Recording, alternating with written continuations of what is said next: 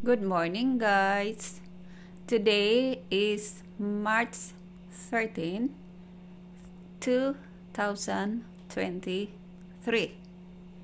Spring na sana, pero tingnan nyo guys, ang lakas ng snow at gray yung clouds at marami ng snow sa madadaanan namin. Pero itong kalsada, nilagyan kasi ng salt, kaya na-melt yung mga snow. Hindi madali ang mag-travel kung ganito na weather.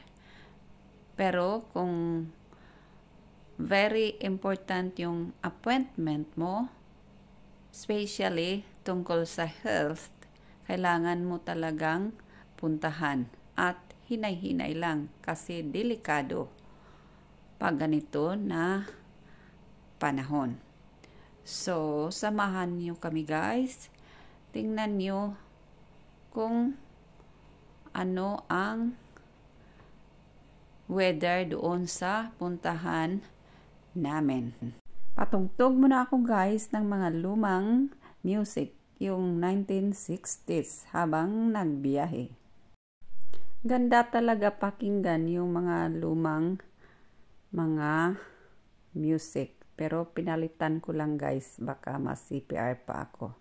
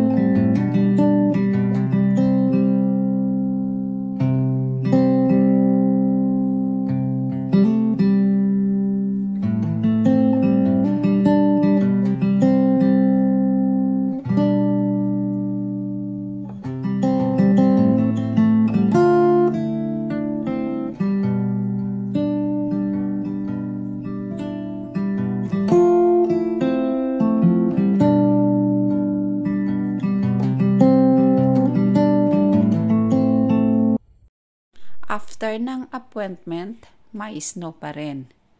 Pero pumunta muna kami dito para mag-breakfast. Ang aga kasi namin umalis sa bahay. At dito kami kakain sa cafe na very popular sa mga tourist. Ayun na ang cafe guys. Ang likuran yan. Kasi dito kami dumaan sa car park. Mamaya ipapakita ko ang harap ng cafe. Inom muna ako ng tsaa, guys. Habang hinihintay ang aming order, malamig kasi. Ipapakita ko sa inyo guys ang loob. Habang naghihintay kami ng order. Yan pala ang pangalan ng cafe. Antala Ness. Ayun, magaganda at mga bago yung mga tables and chairs. At yun, malinis.